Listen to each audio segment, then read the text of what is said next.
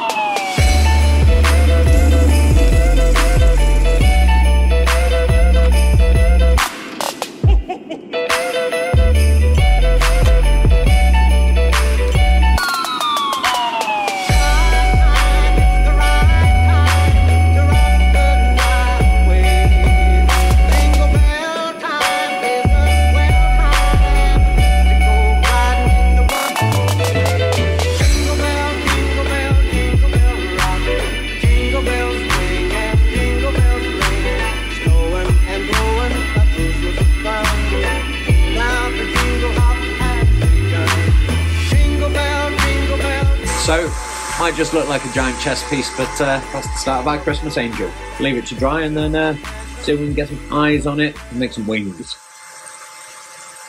Ho, ho, ho.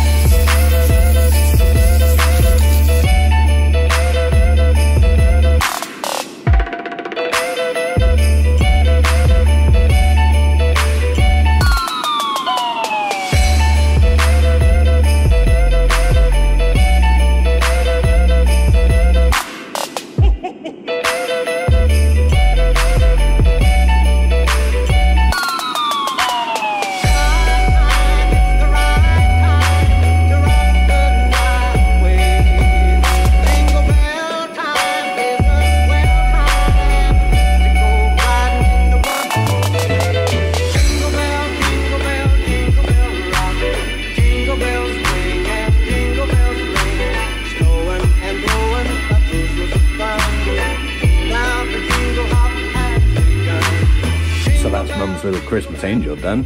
Now, uh, I was going to do some earrings in this video as well, but I have completely lost them. I do not know where I've put them, so uh, that'll lead us nicely into another video. I'll see you next time.